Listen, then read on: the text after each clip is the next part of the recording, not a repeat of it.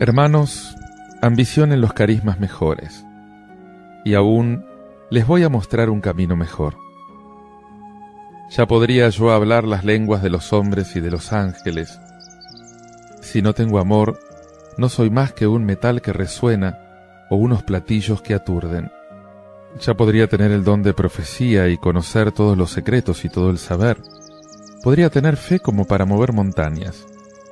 Si no tengo amor, no soy nada. Podría repartir en limosnas todo lo que tengo y aún dejarme quemar vivo. Si no tengo amor, de nada me sirve. El amor es comprensivo, el amor es servicial y no tiene envidia.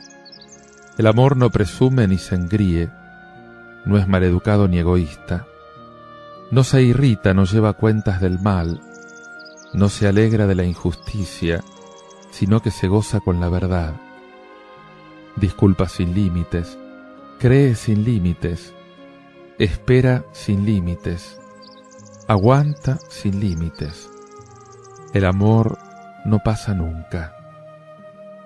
El don de predicar se acabará.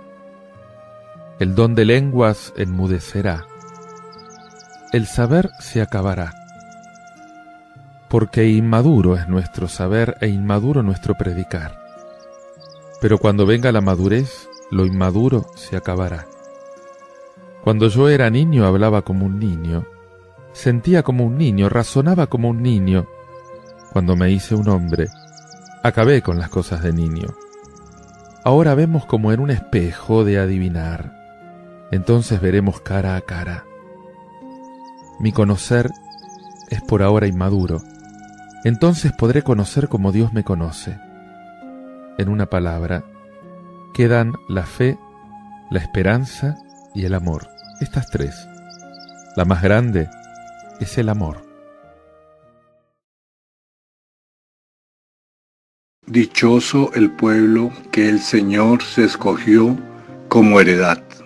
Dad gracias al Señor con la cítara, tocad en su honor el arpa de diez cuerdas, cantadle un cántico nuevo, acompañando los vítores con bordones.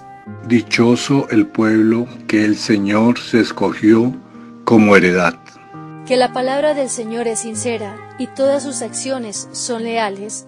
Él ama la justicia y el derecho y su misericordia llena la tierra. Dichoso el pueblo que el Señor se escogió como heredad. Dichosa la nación cuyo Dios es el Señor, el pueblo que Él se escogió como heredad. Que tu misericordia, Señor, venga sobre nosotros como lo esperamos de ti. Dichoso el pueblo que el Señor se escogió como heredad. En aquel tiempo dijo el Señor, ¿A quién se parecen los hombres de esta generación? ¿A quién los compararemos? Se parecen a unos niños sentados en la plaza que gritan a otros, tocamos la flauta y no bailan, cantamos lamentaciones y no lloran. Vino Juan el Bautista, que ni comía ni bebía, y dijeron que tenía un demonio. Viene el Hijo del Hombre, que come y bebe, y dicen, Miren qué comilón y qué borracho, amigo de recaudadores y pecadores. Sin embargo, los discípulos de la sabiduría le han dado la razón.